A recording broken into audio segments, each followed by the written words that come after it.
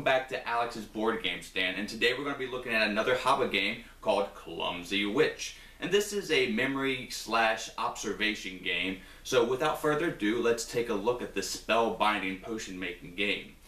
Toil, toil, boil, and what ingredient did we forget this time? Hmm. A lot of them. okay, let's show them how to play.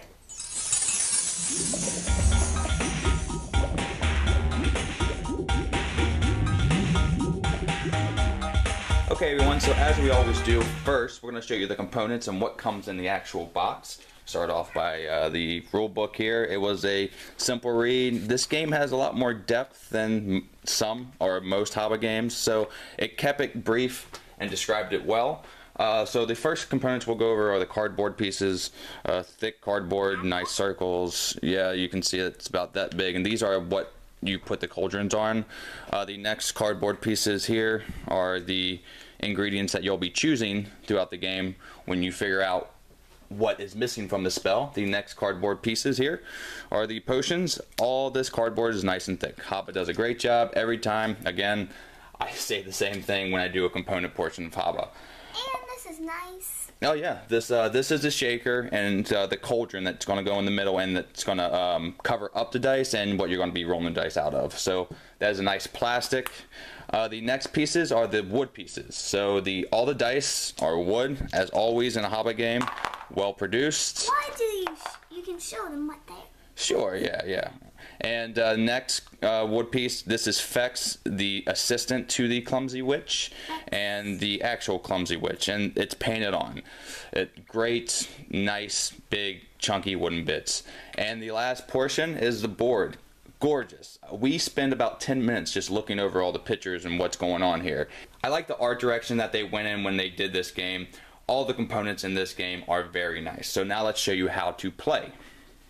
Okay everyone, so just for the sake of easy explanation, we're just going to stick with the basic rules and play the gameplay with the purple dice here. You're going to get a flavor and a feel of how the game plays just by uh, playing the basic rules, though we will go over the advanced dice and the advanced rules later in the video. So, in the start of the game, you determine the first player by doing what, kiddo? Saying the funniest what? Um, spell? spell. Yeah, I like that. Normally we do a dice and we do the funny spell first player determination every time.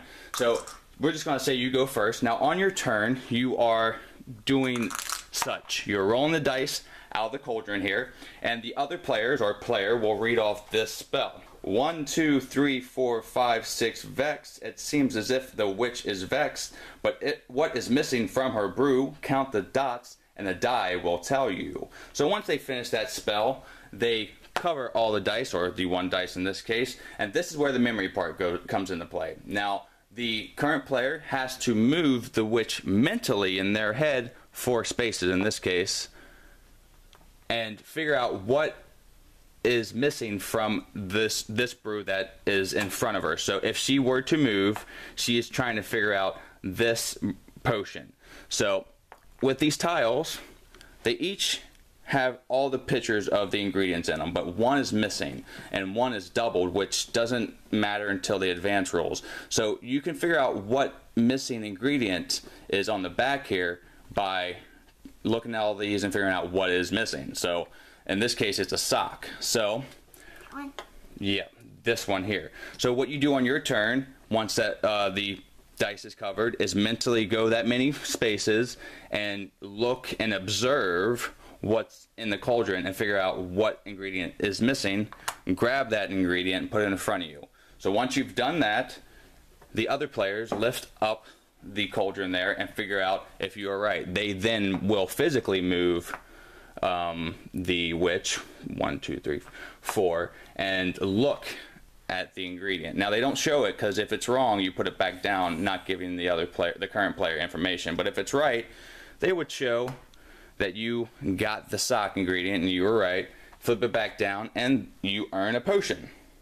So that is basically how Clumsy Witch is played. I would say she's more forgetful and bad at keeping track of what she's putting in the cauldrons, but hey, we're just going to stick with that.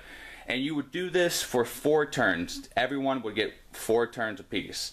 And the person with the most potions wins the game. And if it's a tie, it's a friendly tie, all the witches and or witch- wizards win the game. So that is how Clumsy Witch is played in the basic form. So now let's show you the advanced rules and what the other dice do. Okay, so in the rule book, Haba suggests that you add one dice per game until you get the hang of each dice, and then you can um, switch uh, die out, mix and match, and play with as many dice as you want. This, uh, oh sorry, this is the first dice that they suggest putting in, and this changes direction. Um, you're always playing clockwise, with the exception of this dice. The yellow uh, symbol here with the arrow going the opposite way makes the witch go the opposite way and face that way. So she would be facing counterclockwise and she would have to look at this potion and figure out that ingredient. Whereas the white is as normal clockwise. So you can throw that in the game and that adds a little more memory to it. The next one they suggest putting in is the uh, blue dice here and has two emblems. Um, the witch face means she's looking in front of her and the hat means she's looking behind her. So not only do you have to keep track of the pips, and the direction. If you're playing with this one too, you have to figure out which direction she's going to be looking at for the cauldron. Uh, the last one here is the Fex dice. Now this um, incorporates Mr. Fex here, which again is a nice meeple painted on, and he does basically everything opposite of Clumsy Witch. Uh, this associates with him, and if you get the, what is it, the moon is Fex. So if you get the moon, you are now moving Fex. But if you get the star, you're moving the Clumsy Witch. The Fex rule is the most complicated, so let's go over that right now.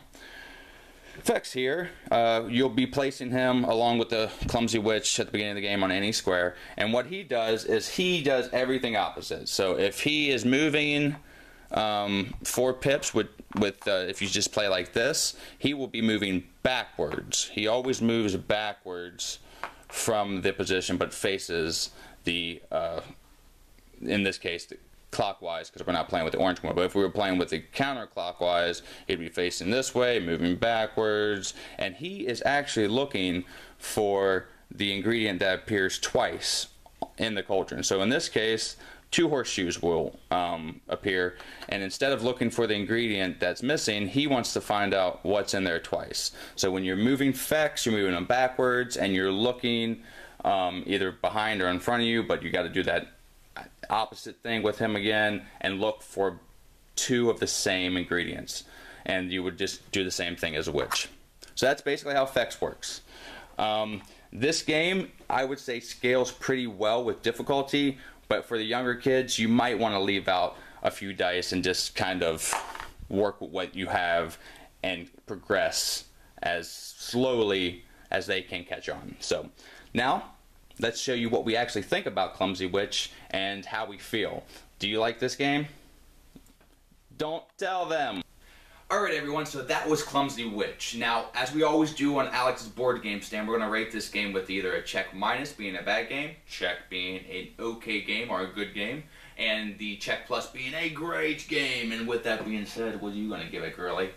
Check plus. Oh, nice. You like this game? So what is the your favorite part about this game? What do you like to do the most? Well, I like two things. Okay. I like getting the potion. Yeah. And I like moving this backwards guy. Yeah, yeah, he's something silly, huh? And uh, yeah, I totally am in, in agreement with that. This game is good for kids. It's going to get their brain working. Um, even with adults, with the memory and observation, with the time aspect, it really crunches everything and makes it frantic and you start to panic. So like I said before, the game scales really good in difficulty. So if you're finding this game a little, a little too easy, just add one or two dice and it completely turns into a different game. I'm going to give this game a check, and it's right on the cusp of a check plus. Though it's something about the gameplay that just doesn't make me want to bust this one out every time. Though it's a good game, and I'm I'm very happy to play this game. Just not something that I'm going to throw on the table every time when it comes to a Haba game. But again, her opinion is what matters the most, right? Because that's who they want to shoot for. And yeah, I would say this is a, a good game. It's well built and uh, the theme is really nice. This this board is just one of my favorite things about this game. Uh, that's what I would say my favorite part about the game is. Look at this little cat in a hat here and a little spell hat. Mm, that's Clumsy Witch's cat. Oh, it's Clumsy Witch is a cat?